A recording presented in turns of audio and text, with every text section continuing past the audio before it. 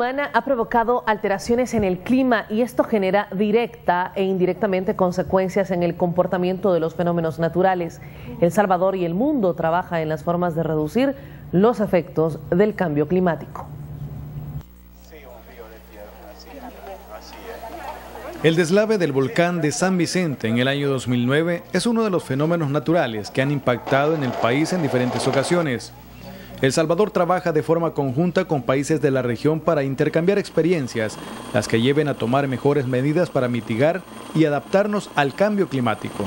Ya se identificaron, digamos, este, algunas tecnologías prioritarias para la agricultura, este, para el sector de vivienda, eh, infraestructura, salud, etcétera. Entonces ahora lo que vamos a tener ya es una discusión de esas opciones. La agricultura es uno de los rubros que más impacta en el país los fenómenos naturales. En esto las autoridades aseguran que ya se trabaja para disminuir los daños. Que como ministerio ya presentamos conjuntamente eh, este año, eh, lanzamos un programa que se llama el Programa Nacional de Restauración de Ecosistemas y Paisajes, que lo lanzamos este, en mayo junto con el ministro el viceministro de Agricultura y el ministro de Obras Públicas. Entonces, eh, eh, ahora justamente eh, se va a presentar el avance que tenemos ya en este programa. el Salvador ha pasado del primer lugar más vulnerable en el mundo a la posición número 4.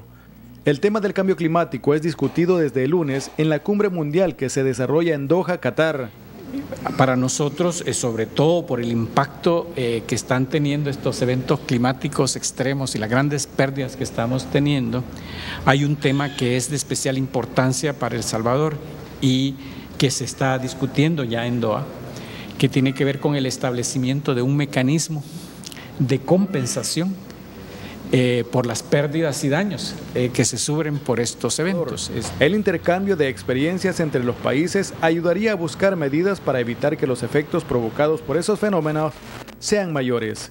José Eduardo Sánchez para Tele 2.